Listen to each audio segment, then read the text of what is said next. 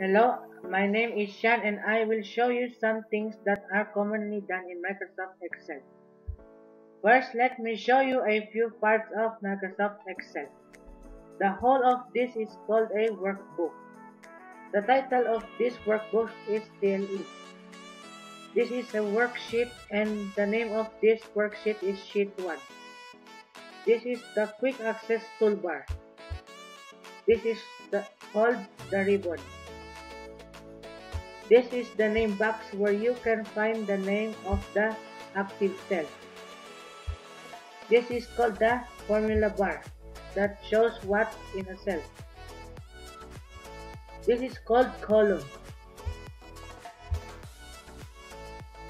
This is called a row. This is called a cell. This is called the vertical slide. This is called the horizontal slide. And this is the zoom slider. To open a workbook, just go to File, click Open, then choose what file you want to open. Then double click, then File.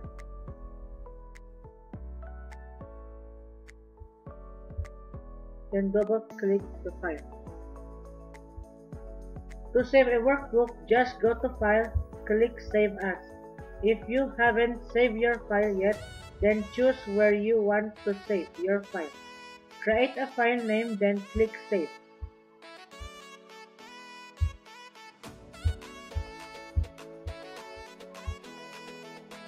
If you have already saved your file, just click Ctrl S.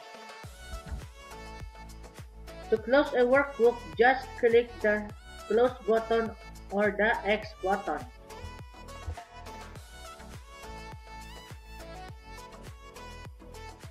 There are three ways on how you can view your workbook. These are normal view, page layout view, and page break view. Now let's go to sheet 2.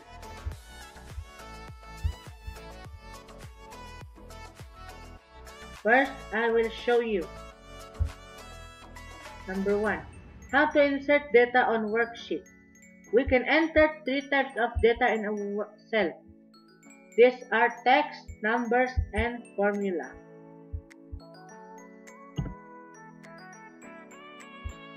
Let me enter a few data first.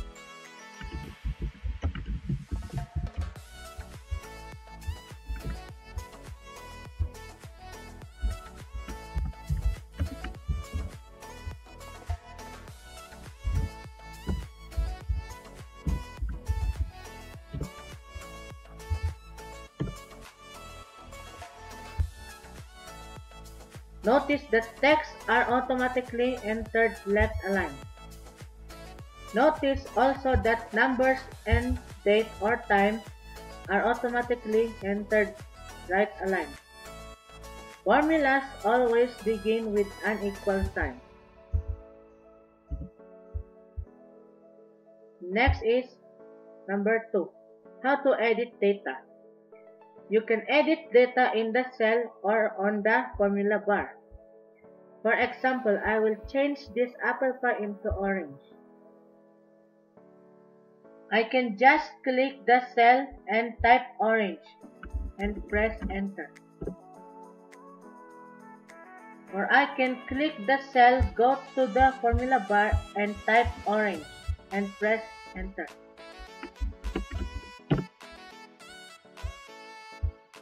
Next is number 3. How to select multiple cells.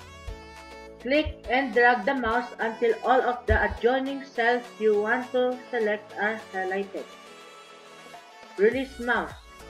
The cells will stay selected until another cell in the worksheet is clicked. Next is number 4. How to copy and paste cell content. Select the cell you want to copy. Right-click, choose Copy, then go to the cell where you want to paste, then click Enter. Next is number 5. How to cut and paste cell content. Select the cells you want to cut. Right click, choose cut, then go to the cell where you want to paste. Then click enter. Next is number 6. How to delete content within cell.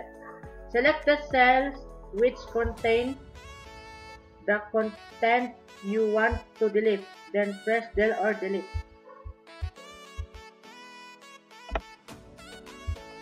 Next is number 7.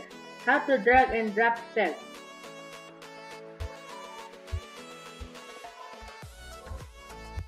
Select the cells you want to move. Position the mouse on one of the outside edges. Click and drag to the new location, then release the mouse. Next is number 8. How to change the size of the column and row to change the width within it. To change column width, point to the boundary, then slide it to your desired width. To change row width, point to the boundary, then slide it to your desired width. Next is number 9. How to insert cells, rows, columns, worksheet. To insert cells, click to where you want to insert a cell. Right-click, then choose Insert. To insert rows, position the mouse over the row where you want the new row to appear. Right-click, then choose Insert. To insert columns, position the mouse to the column next to where you want the new column to appear. Right click then choose insert. Next is number 10. How to delete cells, rows, columns. To delete cells, select the cells you want to delete. Right click then choose delete.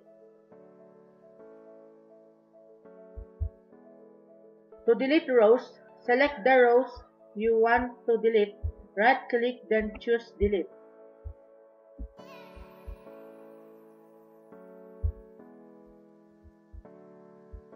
To delete columns, select the column you want to delete, right click then choose delete. The last one is number 11, how to freeze pane. To freeze rows, select the row below the row or rows you want to freeze. Go to view and in window click the freeze pane then choose freeze pane.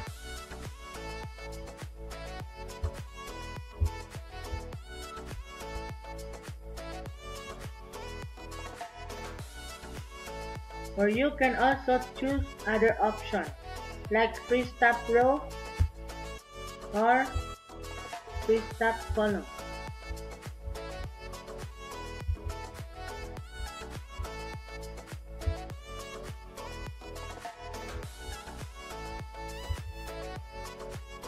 That's. Thank uh, you.